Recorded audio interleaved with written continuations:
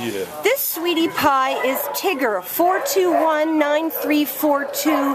Tigger is a little tiny pit mix, maybe has only two months old, brindle gray, just simply stunning.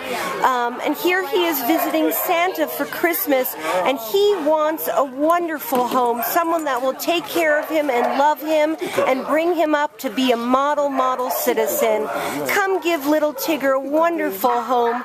He's here at the Baldwin Park shelter and he wants a special Christmas of his own. Come adopt Tigger.